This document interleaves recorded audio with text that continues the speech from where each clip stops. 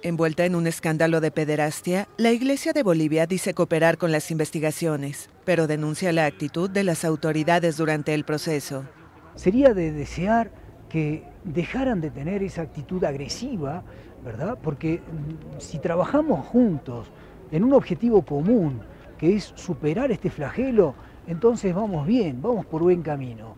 Pero claro, si lo que pretenden es simplemente eh, mm, agredir, o destruir, este, bueno, pues lamentablemente mm, no es eh, para que los aplaudamos.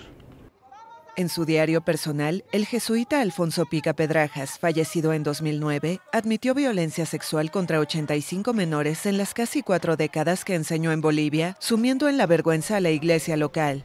Los hechos salieron a la luz pública en abril con una investigación del diario español El País.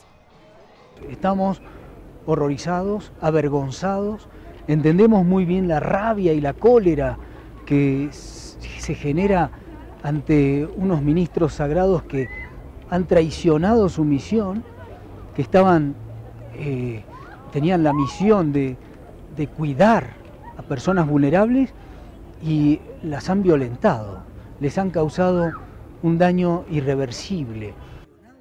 La Fiscalía Boliviana ha identificado a 17 víctimas y a 35 presuntos agresores vinculados con la Iglesia.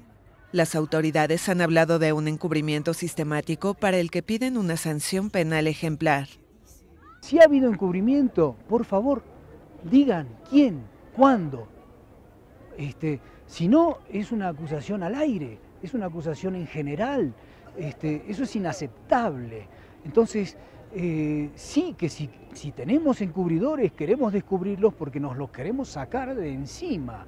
Es decir, lo primero que queremos es una iglesia limpia, con la casa limpia, eh, que sepa cuidar. Según Eggman, la iglesia está escuchando y animando a las víctimas a denunciar. En la comisión de escucha, además de escucharlas a las víctimas, se las va a animar y si hace falta acompañar a que hagan su denuncia ante el Ministerio Público. Pero este, una cosa que parece que no tuvieran siempre en cuenta nuestras autoridades del Estado es que ninguna víctima puede ser presionada para denunciar. En Bolivia, el 58% de los 12 millones de habitantes son católicos.